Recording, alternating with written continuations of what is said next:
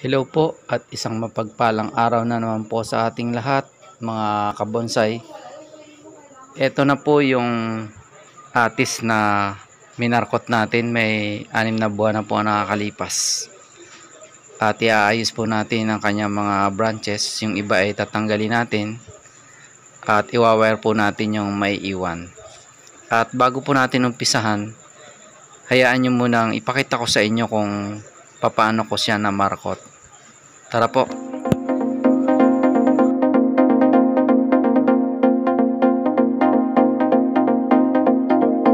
Kailangan walang maiwan.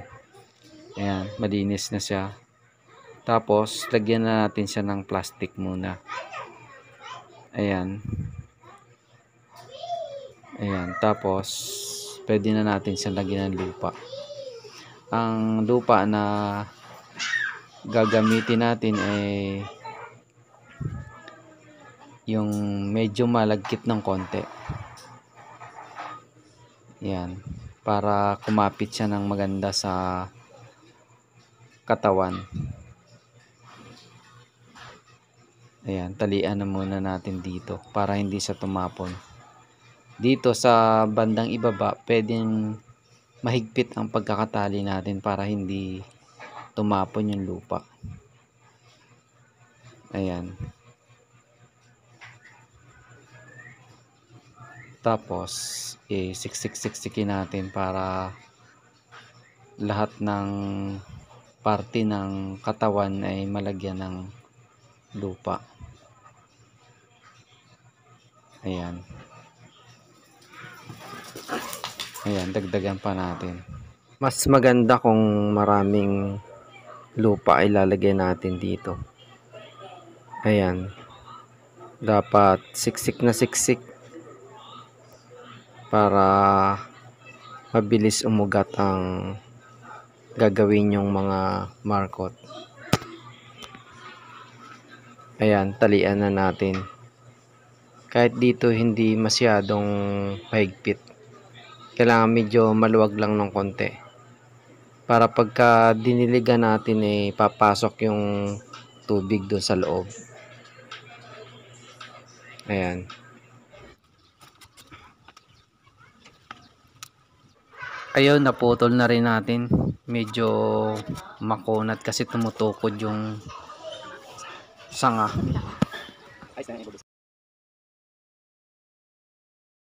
Putulin na natin itong mga branches niya. Ayan. Tapos tong isa pa dito sa baba. Ayan. Itong malaki lalagariin natin para maputol siya. Ayan, pansamantala dito na muna natin sa putulin.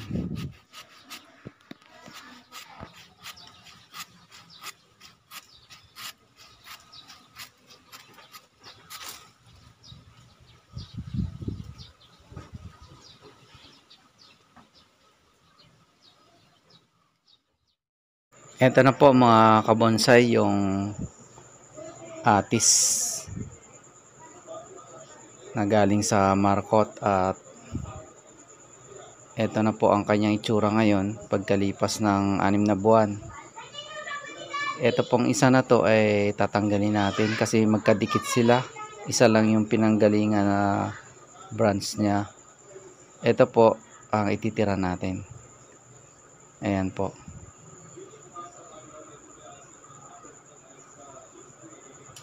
Tapos ito namang dalawang branches na to ay magkadikit din. Iwa-wire naman po natin siya ng magkasama na pagsasamahin. At ito naman babawasan po natin hanggang dito. Ayan po. Puputulan natin dito. Tapos itong ano na to, tatanggalin rin natin. Ngayon naman po ay magtatanggal tayo ng mga sanga na hindi kailangan. Tulad nito, ayan po, at natanggal na natin ito. Ayan po. Tapos isunod natin itong bandang dulo. Ayan. Putulan na natin dito. At sobrang haba at bulok na rin po siya. Ayan, natanggal na natin. At itong isang branch na to ay tanggalin na natin. Ayan po. Itong maiiwan na to ay iwawer po natin. At kailangan nating palakihin to hanggang sa bumunga na siya. Malapit na po tong bumunga kasi malaki na yung kanyang sanga. Iwawer na po natin siya. At kailangan nating palakihin to bago natin putulan. Ayan po. At pagka lumaki na lumaki to, magkakaroon to ng mga bulaklak at bunga. Ayan po, at uh, umpisa na natin i-wire.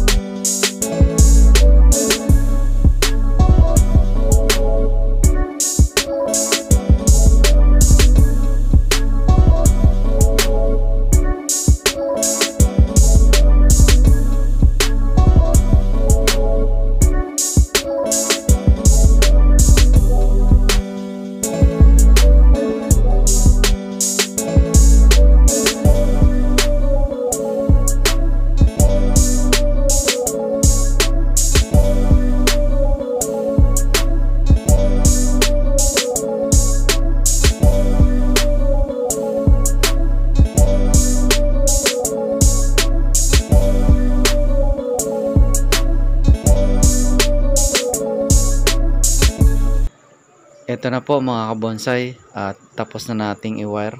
Ito na ang itsura ng ating atis. Ayan po. At hanggang dito na lamang po. Salamat po sa inyong laging panonood. Ito po ang Hellboy Vlogs. Huwag niyo pong kalimutan na i-like, i-share at mag-subscribe sa akin channel. Hanggang sa muli po, lagi kayo mag-iingat at God bless po sa inyo.